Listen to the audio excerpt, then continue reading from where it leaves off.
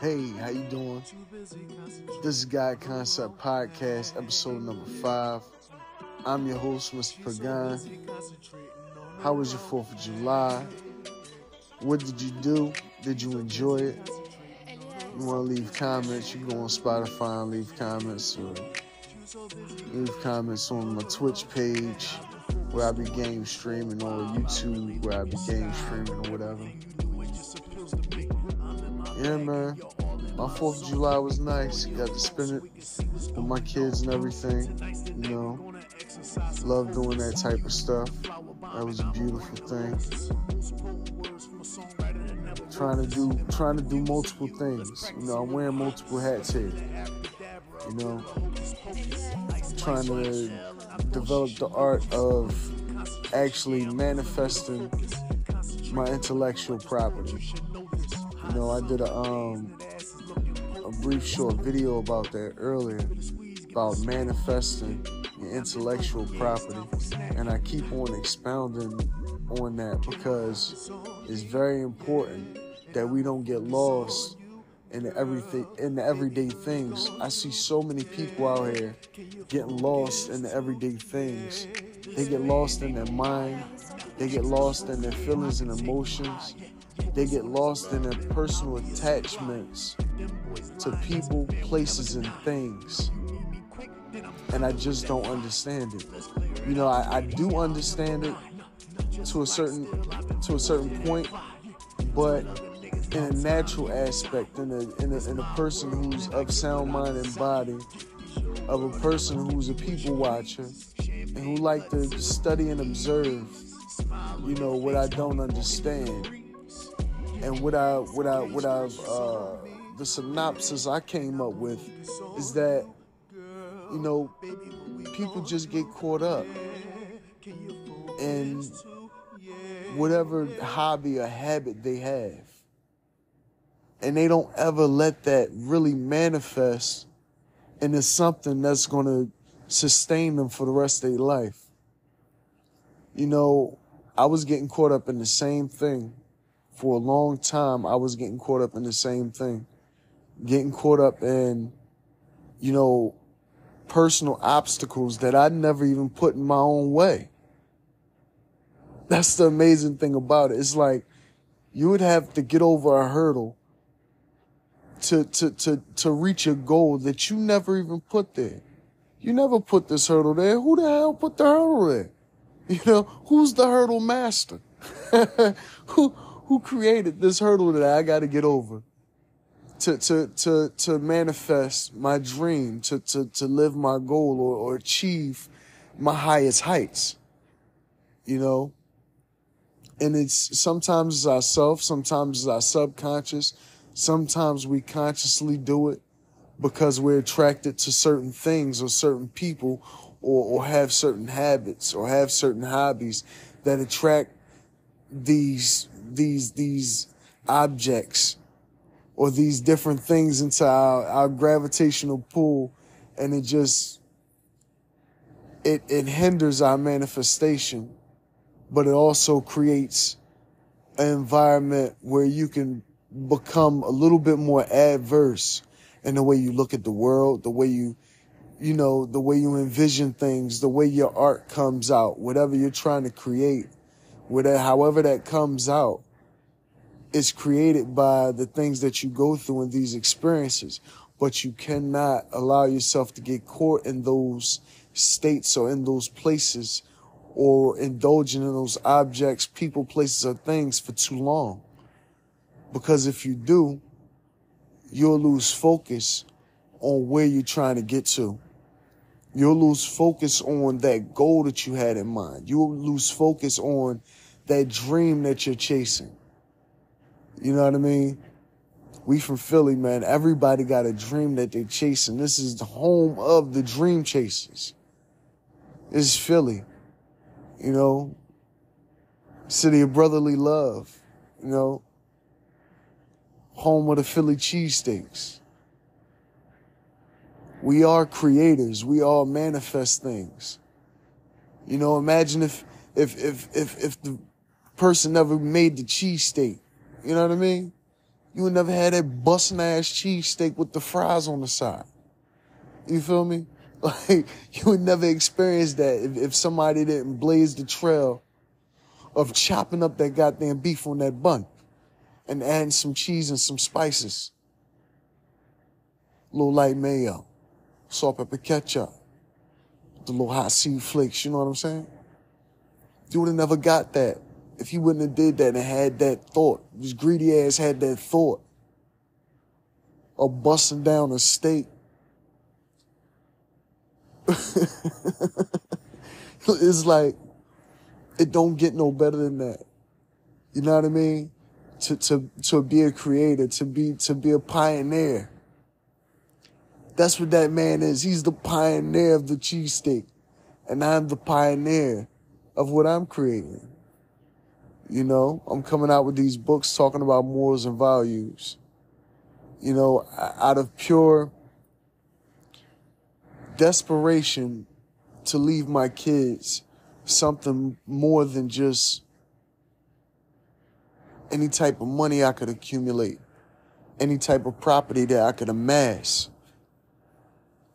I want to leave them a legacy of showing them if you follow your dreams and really pursue your goals and you be a dream chaser, no matter what degree or doctrine you have, you can achieve whatever you want to achieve.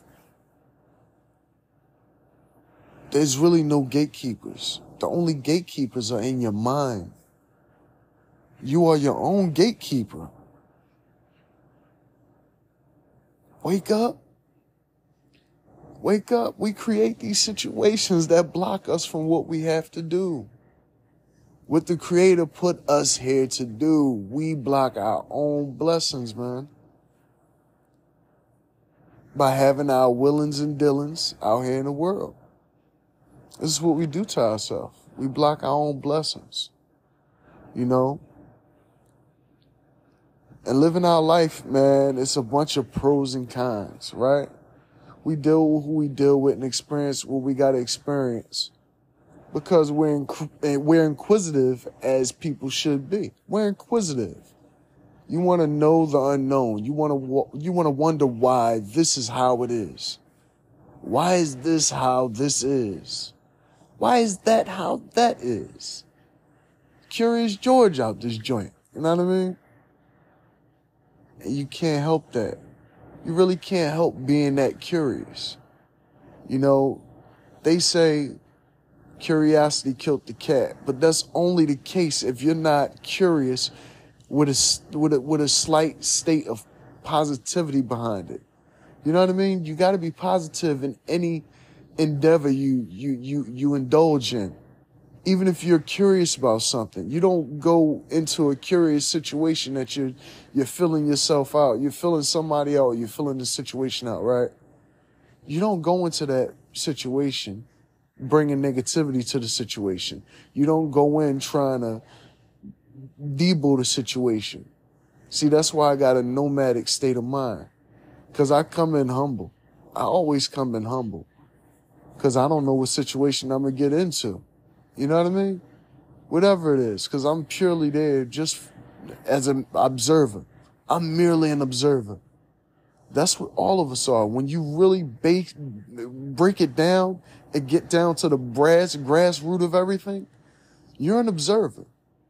God's wrist, if you will. The wrist of God.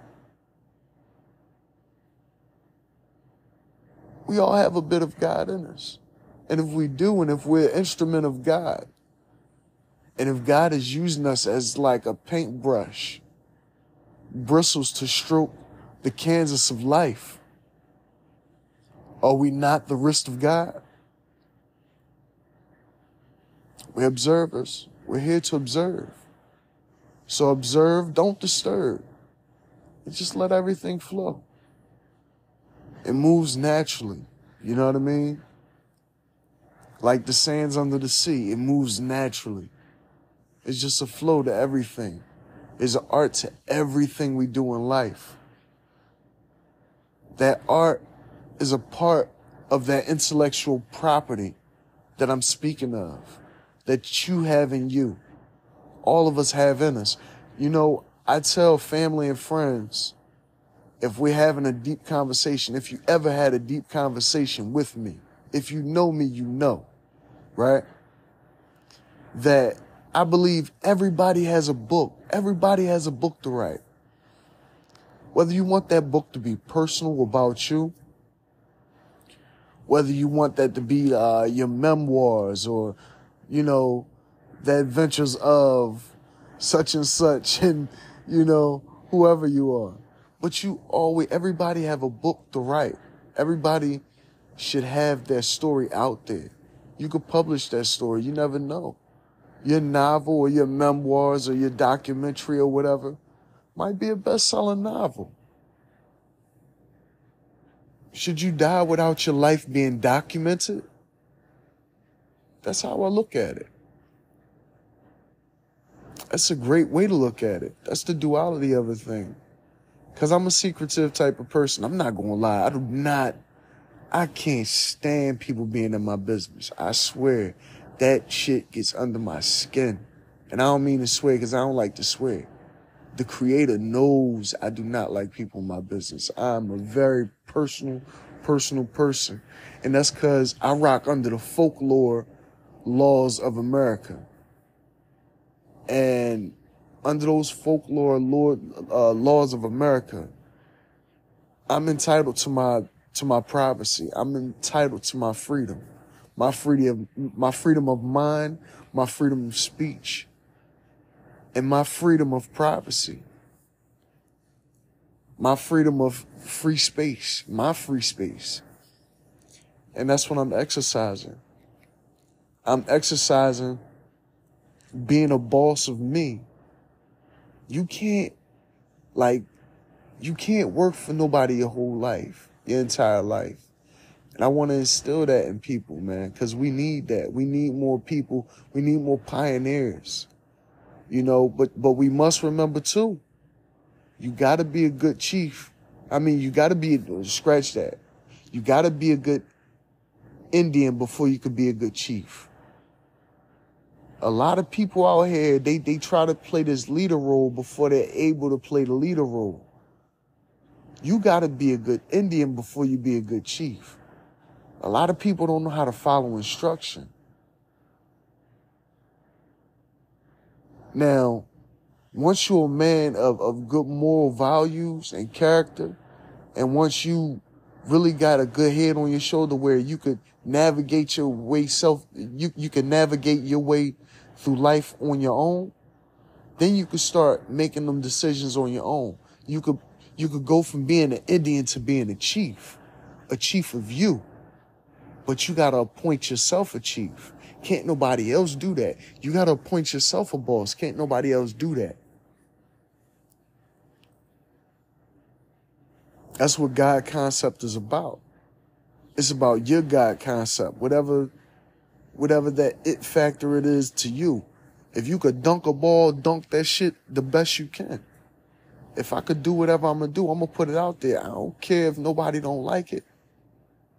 I don't care if you laugh, if you cry, if it make you wanna, you know, if it make you, you know, if it make you happy, that's good. If it's literature that, that inspires somebody, that's good. That's all I want to do is put out good positive energy. Everything I'm doing is coming from a pure creative artistic space. And I'm sensitive about my shit, as Erykah Badu would say. I am. I am. Who who's not? You put out literature. If I see a flaw in it, yeah, I'm gonna grind myself up. I'm a, I'm my own worst critic. So there's nothing anybody could say about anything that I'm producing that I haven't already said already. You know what I mean? See, it's the, the thing is, a lot of people is is afraid of being criticized or I, I like I like constructive criticism. You know why? Because it builds character. It, it allows you to grow if you allow it to let you grow. Some people take it in a negative way and they stop growing they let constructive criticism stunt their growth in whatever whatever endeavor they're doing, stunt them from gaining that proficiency in whatever endeavor they, they're, they're indulging in. You can't let constructive criticism stunt your growth from growing whatever brand or market you're trying to dive into. You gotta let that shit listen. Let it flow. Let it go and let it flow.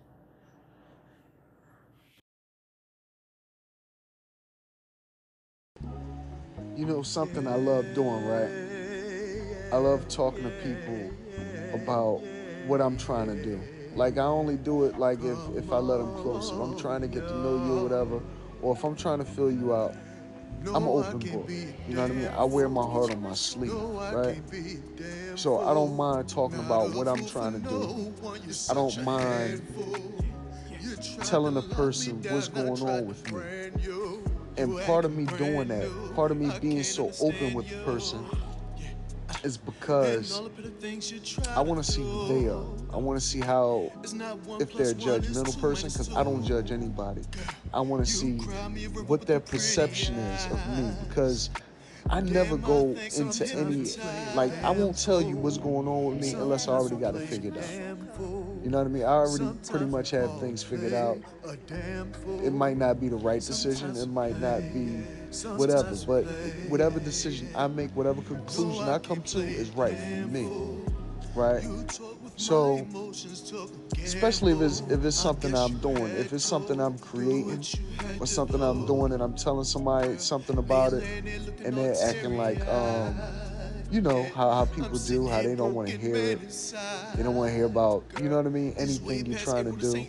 Or if you've done something and you're trying to tell them about it, they don't want to hear nothing about it.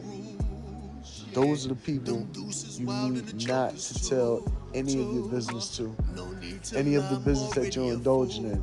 I mean, every now and then, if they want to know, you give them a tidbit, this and that, but don't really expound too much on what you're doing, because they'll take they'll take away from the creative, from from what you're trying to create.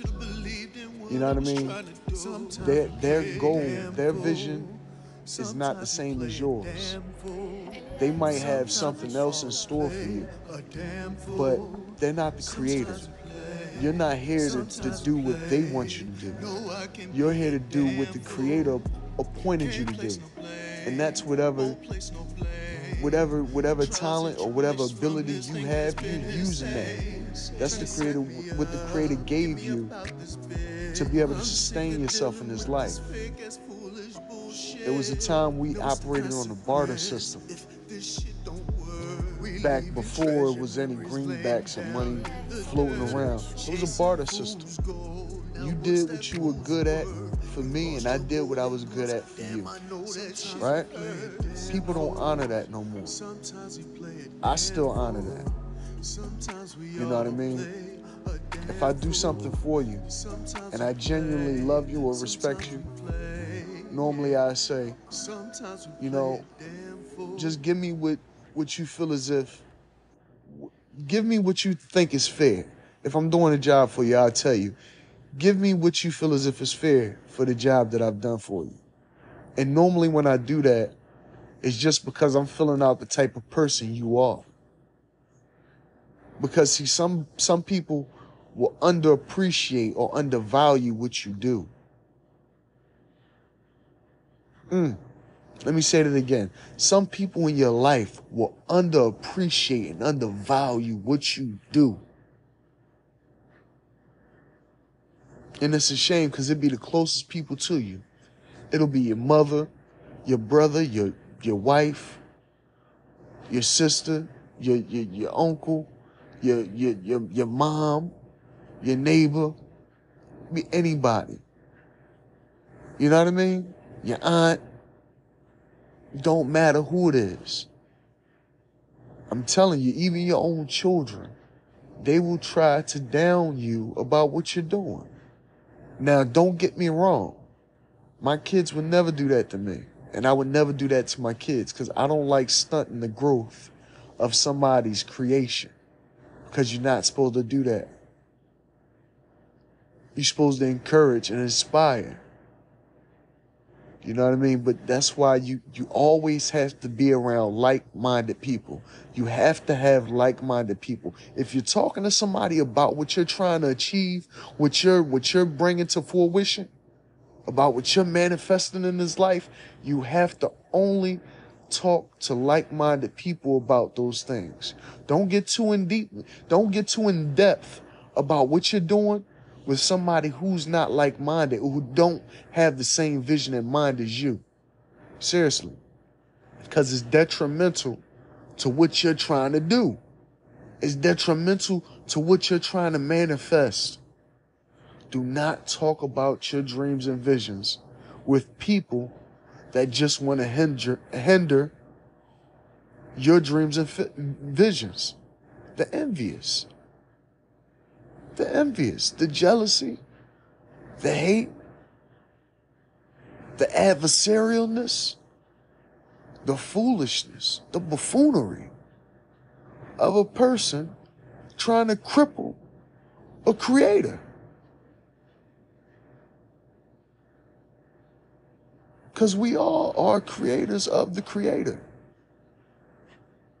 The creator put us here to create. Who am I not to do so? It behooves you to put any ideas or any visions that you have to work. Or you'll have to work for somebody else for the rest of your life. I'm just giving you real spill. You know? Gillie and Wallo, man, they giving y'all a million dollars worth of game, and that's real shit. I'm doing the same. But my show ain't called Million Dollars Worth of Game. this God concept. And they got that. They got the God concept. I got the God concept. I'm I'm I'm blazing, I'm pioneering my thing just like they just like they did in their time and they still doing and they building their brand. Bigs up big big up to them guys. Big up to them guys. Because honestly, man, people give you these blueprints and people give you these this advice and people give you this positive energy that, that we supposed to use, man. I'm using that energy. I'm using that energy that I get. I'm using that energy that I receive, that positive energy. If you giving me positive energy, I'm there for you. Because that's all I'm giving out. All I'm giving out is positive energy, positive vibes. If I feel the energy ain't real, then I'm not there. I'm gone. I'm ghost. I don't play that. You know what I mean? No matter what I'm doing, if it's not no type of positivity involved in it, I'm not there. I can't stand for that. You can put me in any atmosphere, I'm gonna light up the room because that's what I do. And if I can't do that, then I'd rather just disappear. Let me move on and I'm gonna go over here and shine somewhere else. You know, I'm like a lightning bug. My my light go my light flickers on and off. You know what I mean? If I feel like you you you off, then my light's off. If you on, hey, guess what? I'ma shine. I'ma shine because I see you gonna shine. I'ma shine because I see you can shine. I'ma shine because I wanna see you shine. And if I see you not trying to shine with me, then I'ma just go shine somewhere else. That's my God. That's my God concept, to be honest with you. I look at our souls as uh as lights. You know, God is like, you know, like like the brightest, like the old like the like the brightest light, the brightest beam of light, right? So bright you can't even look at it. And our our souls are mini miniature miniature lights, right? Like a light bulb. They got different wattages, right? So though the creator's watt, the the creator's wattage, right, is infinite. Our wattage has a limit to it. But if we could make it through this life without hatred in our heart and without, you know, without with without I don't want to say good outweighing the bad because I don't believe in right or wrong. I don't believe in good and bad. I believe in appropriate and inappropriate, right? So that being said, our lights can shine as, as bright as we let them. But if we just do mundane things and we if we get stuck at a random nine to five and we never really let our intellectual property show, if we never do the things that the creator appointed us to do, that light never continues to get brighter and brighter. That light just stays dim. And if your light is dim, you never could could really ascend to, to your full potential. I mean, don't get me wrong, you could be a good person, you know, and your light will, will gradually grow brighter and brighter. But that's all according to what you're supposed to manifest manifest in this life. You gotta achieve that goal in your life, or you'll continue to repeat the cycle over and over again. That's if you're worthy of even repeating the cycle over again.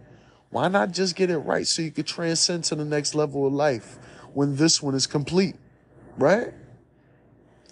Do whatever you're supposed to do when you're here. Do whatever you're supposed to do.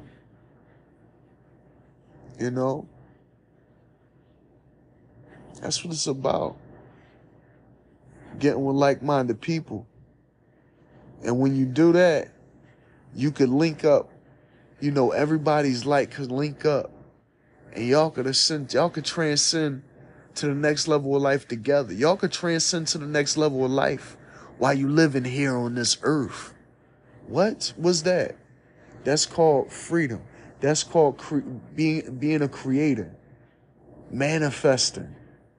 Just like the creator manifested you, you got to manifest.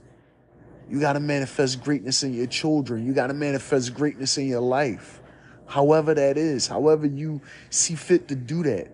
Wherever you at in your life, it don't matter.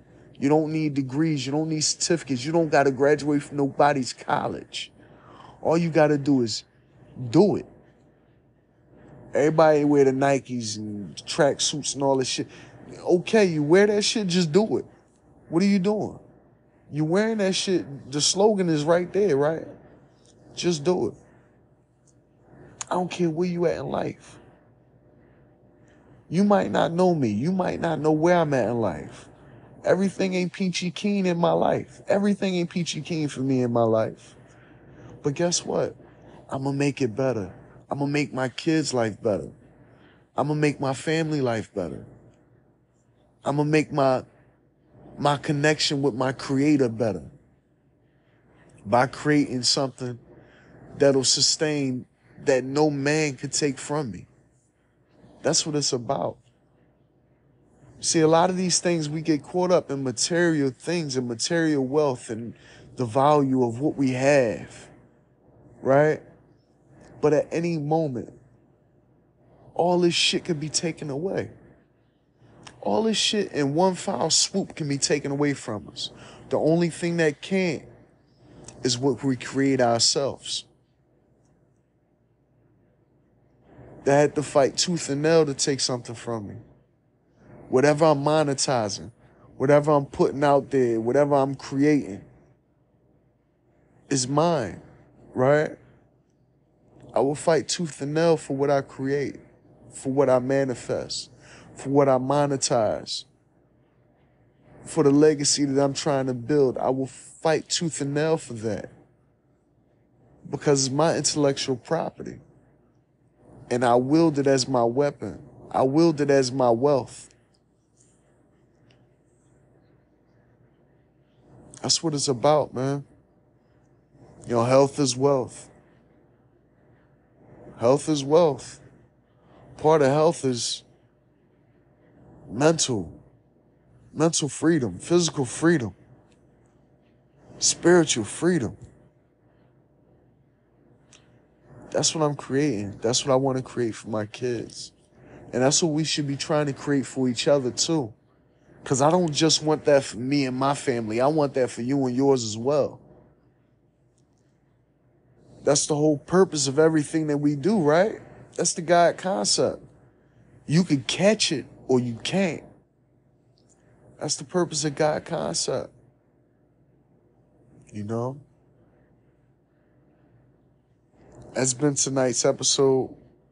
Um, stay tuned for these commercial breaks.